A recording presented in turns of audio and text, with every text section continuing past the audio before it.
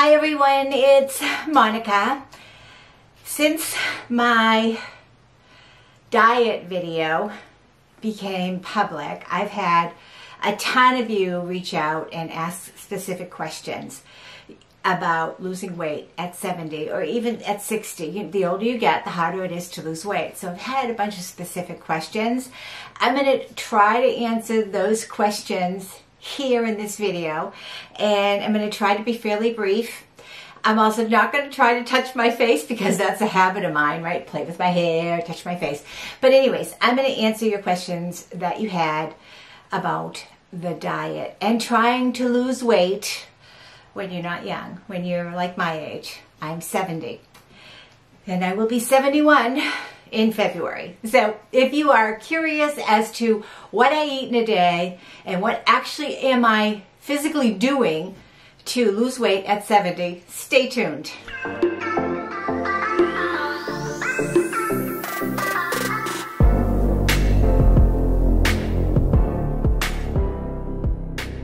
Okay, so first of all, let me just say that diet is it, it's it's different for everybody, right? I don't even like the word diet because to me it's a lifestyle change, it's a lifestyle adjustment, it's a mindset because I came to the decision that I was just going to move every day. I was just going to do it, and I was just going to keep taking that step, and I was just going to keep moving but I had help along the way, right?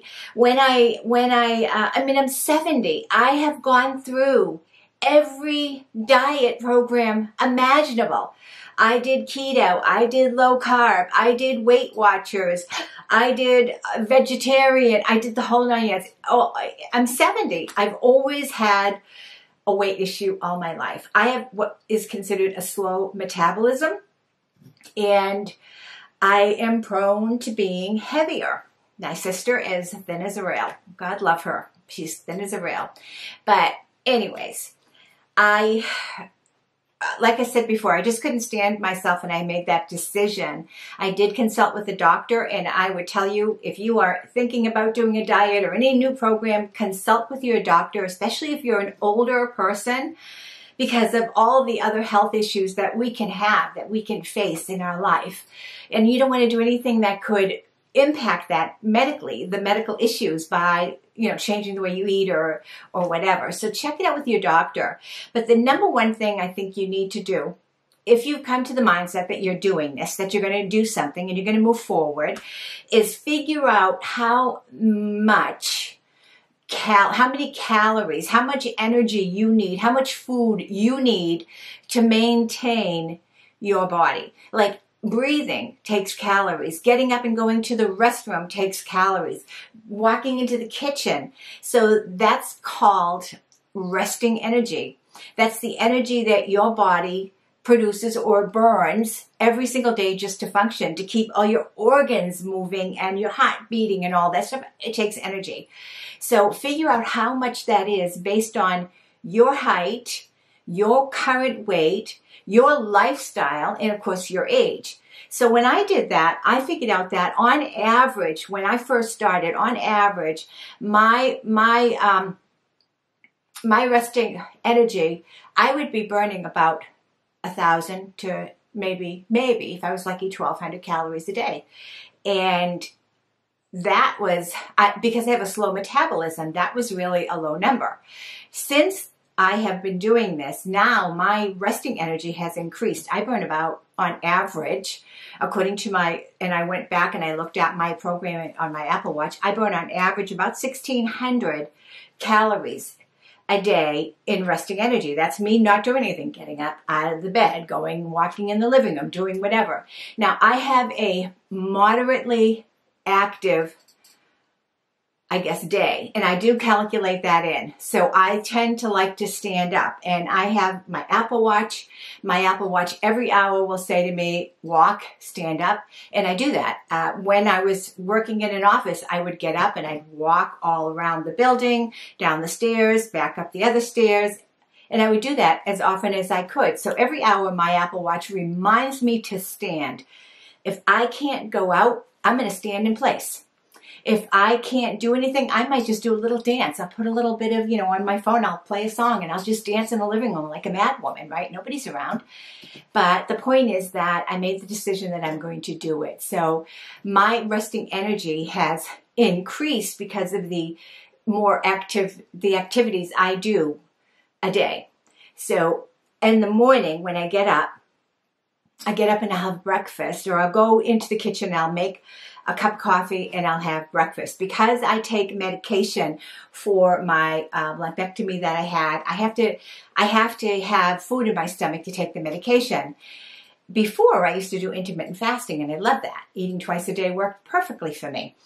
But with the medication, I have to have something. So I have something light in the morning and typically it could be uh, a, a, a regular size serving of raisin bran. I love raisin bran. Maybe some sliced banana in it sometimes, some milk. That might be my breakfast. Or I might have a rice cake with um, some wild Maine blueberry jam. Oh my gosh, I love the wild Maine blueberry jam. If you've never had it, you don't know what you're missing. So I'll have that. And I know it's like about 35 calories for the size, but you know, that's okay. Or I'll have toast and and I'll put the jam on it as well. But I typically have something in the morning. And when I've done that, I'll take my medication, I'll walk around. I have my Apple Watch set so that my active calories shows on my Apple Watch. So I can look at it right now. I have had I have burned 200 active calories and I haven't worked out yet. And that means just me walking faster, me walking in place, me doing something very physical other than just getting up and doing my, you know, the resting calorie routine. Anyways, my active energy now, my goal is that I want to have at least 800 active calories burned a day. So I'm, I'm at 200 now. I got a way, you know, ways more to go. If I make it to the gym today, if I get to work out, if I do an hour of the pool or whatever, I'll probably have 1200 active calories. So if you do the math, if my body burns um, at rest, say 1600 calories, because I work my metabolism up to that, and then I go work out and I burn, let's just say, another 1200 calories, right? That's 28, roughly 2800 calories a day that I am burning, right? So if I am eating 1800 calories a day, roughly, or thereabouts, I would tend to lose some weight very, very slowly. And that's the name of the game for me. So I'm, I monitor my active calories to know what your body uses for active calories. There are formulas in place. Certainly, if you go to a gym or anything like that, you can talk to a trainer. They'll help you figure it out. But there are apps that'll do that. And I already know basically on the food I'm going to eat the rough calorie count. So if I have breakfast at lunchtime, I might just have a very light, maybe an apple, maybe a salad, but not anything heavy, not anything big. We tend to eat dinner or dinner, dinner as I like to call it, earlier in the day. So if we have a our big meal around 4 4:30 or even earlier, then I just need something light in light midday. I don't need anything heavy. And our dinner I tend to normally moderately, moderately count, not count, but moderately low carb. But if I want to have a pasta salad and I make a bowl of pasta salad, we're going to have pasta salad. Fresh corn right now in New England. Oh my gosh, I had the most amazing corn from the from the farm stand. I don't care how many carbs it has. I'm, I'm just mindful of my active calories. If I've burnt as if I've gone and I've worked out, I've got plenty to spare because I've built myself up to that. So the whole the whole thing is to have that goal of your active calories. That's that's what works for me. It may not work for you. Keto, low carb may be your gig. Um, it, all of that may work, but for me at 70, I know it it won't work for me now. When I did low carb and I did keto, I lost my gallbladder. I um, and that was a real painful. It was a, my gallbladder was extremely. I mean, I had I had them stuck in my, my vials or whatever it is. And I was in the hospital for two days. It was not an easy process when I had to have my gallbladder taken out. And my doctor said it was directly related to my diet. Now, again, I've been yo-yo dieting all of my life. I'm 70, right? I'm 70. I have to face reality. And, um, and I lost a lot of my hair. I lost a lot of my hair because my body wasn't getting the nutrients it really needed.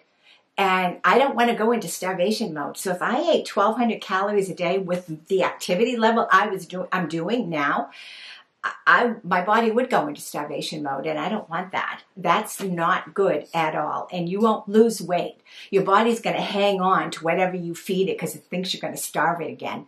So you're not going to really lose weight if you eat, if I eat that few amount of calories. So it's a balance, you know, and I can't tell you that what I do is going to work for you. And if I, there's no food I deny myself unless it's something I hate. Um, we're up in Maine a lot. We've had lobsters and steamers. We've had fried clams. I've had fried clams and onion rings. If we go somewhere and I'm in the mood for an alcoholic beverage and I want to really splurge and have a strawberry daiquiri, I'll have a strawberry daiquiri. But the thing is, my Apple Watch constantly reminds me, get up and move, how much my active calorie burn is. I don't need to know my resting. I don't need my resting to be seen here because I know what my resting is. I've got that all figured out and calculated in here. I just want to see my active because that's above and beyond my resting, you know. So that that's basically what I do. And many of you have asked questions, how many calories, how much this, how much that. And I I I really can't answer it because it is different day to day. I might have some days where I eat more, some days where I eat less, some days where I don't work out as much. But I am mindful when my Apple Watch says get up, I get up and I move. I do something dancing around the living room, who knows, whatever. I get up and I do something. So it's it's determination here. You're not you're never too old, in my opinion. You're never too old for skincare. You're never too old for you know anything you want to do. Travel, go walk the beach. Whether you have a partner in life right now or not doesn't matter. Do it for you. Make the decision you're going to move. And that movement doesn't have to be an hour of swimming like I do. I love Silver Sneakers. If you are 65 or older, check with your health provider, your health care. Uh, we have Anthem, and Anthem uh, is one of the supplemental insurance, you know, that goes along with Medicare that does Silver Sneakers. There's many, many supplementals. Many of them do do Silver Sneakers, not all of them. But, and then if you go online and you, you do a Silver Sneaker application, totally free, it'll show you the locations near you that accept Silver Sneakers. And then there are many other locations it's not showing you because it's not going to show you the next town over. And that's what happened to us. I joined a local gym in my town, and then I saw that another gym had um, had a pool that we could work out in in another town. It accepted Silver Sneakers, so I joined that. Um, I've right now I, I'm, I have three memberships, and there's no limitations on what Silver Sneakers, at least not yet, what they will do. And then if you can't get out, every single day, Silver Sneakers, you can go online, every single, every single day they have, whether it's a walk in place program, a stretching program that you can do totally for free. Yes, it's online. You can watch your, the instructor talk to you and do it. But it's, it's so motivating and it's available in most cases. So check that out. And whatever, if you have a fitness app that you love, um, you know, a Fitbit or anything like that, really, really dig into how you can program it how you can really maximize it. Like my Apple Watch, I've had an Apple Watch since the, I figured it out, since the Apple Watch 2 and I've upgraded a lot. And I've usually upgraded because the health benefits or the the uh, fitness activities have, and every Apple Watch has gotten better. I can't wait for the new one to come out. But I I really really love the love my Apple Watch and it took me a long time to really figure out how to really maximize the usage of it and how to customize so I look at it and I have my the face on my Apple Watch is activity. So I can see at a glance what my active calorie burn is, how many steps I've had today, how many exercise moments, etc., and how many times I've stood up, right? Because you want to stand up and walk around a certain amount of time. That that has like that's been huge, guys. That's been huge having that. That's like that's like having an accountability partner with you all the time. And and I think that for me personally, that that's been huge.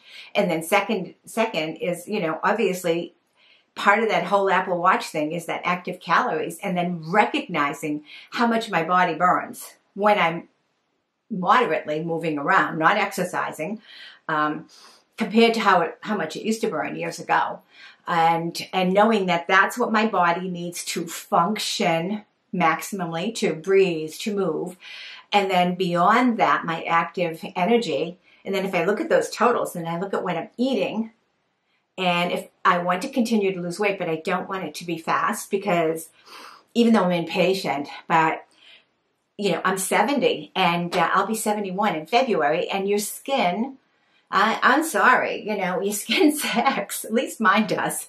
So, but it's a journey and it's a mindset. So, whatever, whatever it takes, you are not too old to move. And whether it's a little baby step, you know, when I sit down, this is what I do now. Um, when I go to sit down or I go to get up out of bed or whatever, I never ever push myself up or hold myself down. I, and I did this, I started this several years ago or whatever, and it, I can't remember where I learned it, but when you go to sit in a chair, stop when you are maybe almost down to the bottom of the chair and hold your body in place. It is intense on your abs, right? Your core. And hold your body in place. Don't sit in the chair and then let yourself sit down. And then work it so that when you get up, you don't have to hold on to the chair to do that. It might take a long time to get to that point. But now I, you know, I'll go to the ladies' room. I don't need to hold on to anything to get up. I sit down. I, I do it even to this day. I go to sit down. I stop at a certain point and I hold my body and then I sit down. And then I get up without pushing. I do the same thing in bed without pushing, without pushing or pulling on anything. But I've worked my way up to that. Yeah. So, yeah, Silver Sneakers, my active calories, knowing what my body burns, and then figuring out what your point is because I do not want to starve myself, my body. If I go into that starvation mode, mm, if your body thinks it's starving, it is not, you're not going to ever lose that weight, right? Because it's just going to hang on to your weight.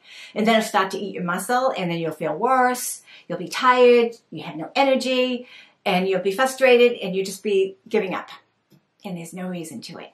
So Again, I'm not an expert. Talk to your doctor, go to the gym, talk to a trainer, search some apps, but this works for me.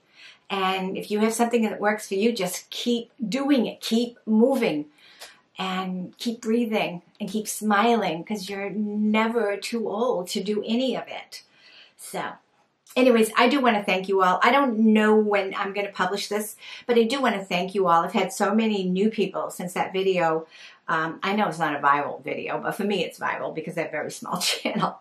But um, I've had so many of you and watch the video, and I would love it if you're watching my videos to hit that subscribe button and that like button. That would just that would mean the world to me.